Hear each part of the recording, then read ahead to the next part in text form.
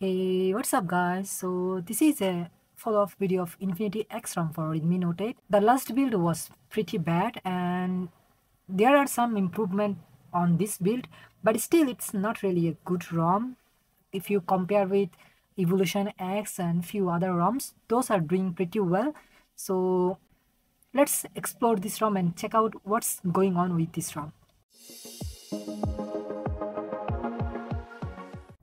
So the ROM is booted up. Let's go and check what we are getting with this ROM. It's based on Android 14 and the latest build of it. I've been trying this ROM few days now. So let's see about phone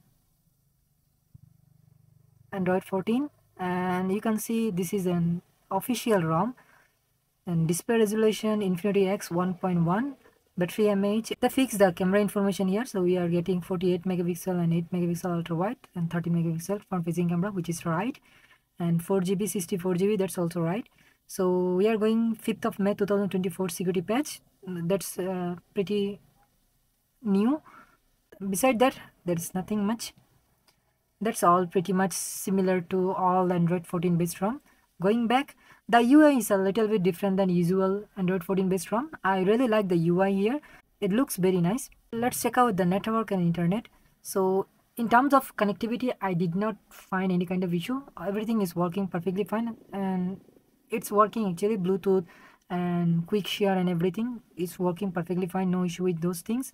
In the display section, we have dark mode and also we can force fully dark theme brightness level uh, extra dim and other things all the typical things and display size and text. So everything is there. Double tap to work and everything is there. Nothing new there. Wallpaper and we do have like uh, we can choose our clock and other things and change wallpaper section. We don't have any kind of AI wallpaper on this build. Maybe in the future build we will get it and more lock option. So there are a few other things here in the app section uh, it's a typical thing. And notification also pretty much typical. In the battery section as you can see we have a lot of information about battery battery image cycle count and temperature. And the battery backup is pretty good on this ROM so there is no issue with the battery backup and anything like that. Also we do have like charging control option. So almost all the functionality are there. So the battery backup is quite good on this ROM. So I've been using three four days. I did not face any kind of issue with the battery and going back uh, and sound and vibration setting everything is working. No issue with the sound and anything like that. Accessibility nothing new there. The security and privacy setting. So we do have face and fingerprint unlock. The main issue with face and fingerprint unlock here is they are really slow. So now let's try uh, fingerprint unlock. So i don't know how long it will take. So as you can see it did not again unlock let's try this one okay this time it did. And this time you see there is a lot of delay in fingerprint unlock. So does in face unlock. So let, let me try face unlock. So as you can see it took a long time to unlock although it is pretty bright area and my face is pretty light up right now. It, it is taking a lot time to like unlock even in the bright area. So both of them pretty they're working perfectly fine but pretty slow.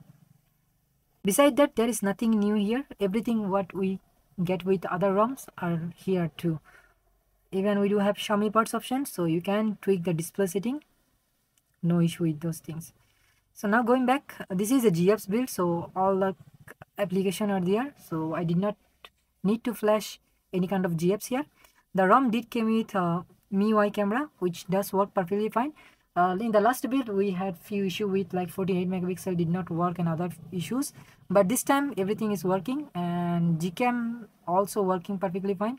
No issue with the camera and anything like that. Now the main issue with this ROM is that it's pretty slow actually. So sometimes it takes a lot of time. Sometimes some apps force close itself. And this ROM is pretty pretty bad for gaming. So if you do gaming on your device this one is not really good for gaming so you should go with something else like evolution x and other things and anyway the raw performance of this rom is not really that great few issues with fingerprint and other things. But the battery backup is really good and bank apps and other things works perfectly fine if you don't install Magisk. Uh, although I don't really recommend anyone to install any kind of bank apps in a custom ROM because bootloader is unlocked. You don't really know what's going to happen. So be aware of those kind of thing. So anyway, this ROM is still garbage. But if anyone wants to try this ROM, I will put the link of this ROM in the description below. So that if you want to try, you can try it. So that's all about Evolution X ROM for Redmi Note 8. Thank you very much for watching and I will see you in the next one.